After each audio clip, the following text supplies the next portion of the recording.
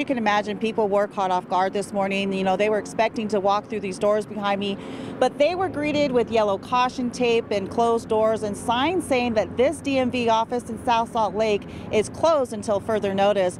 Now, earlier this morning, I had a chance to talk with Monte Roberts. He is the director of the Motor Vehicle Division, and he says that the employee involved didn't have any contact with the public over the weekend, but did have contact with office employees. Now, he did acknowledge the closure is certainly going to be frustrating for a lot of people, especially if you had an appointment and you took time off work today to take care of things. But they must err on the side of caution, and that is just fine for a lot of customers. I think I'm gonna just wait till this comes up open because that's pretty far, Draper or Farmington. Yeah, they haven't given a time when they're going to reopen. Really? Are you planning on waiting just however long it takes? Yeah, probably just wait. That's all you can do nowadays is just wait when things like that happen.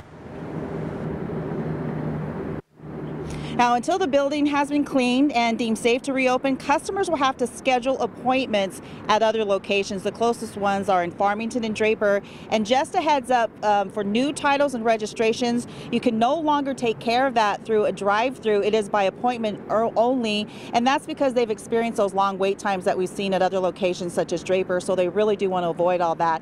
So you need to make an appointment. You won't be able to just walk up and get things taken care of that way. And if you'd like to schedule an appointment, we've got a link up on fox13now.com. Live in South Salt Lake, Tamara Vaifanua, Fox 13 News, Utah.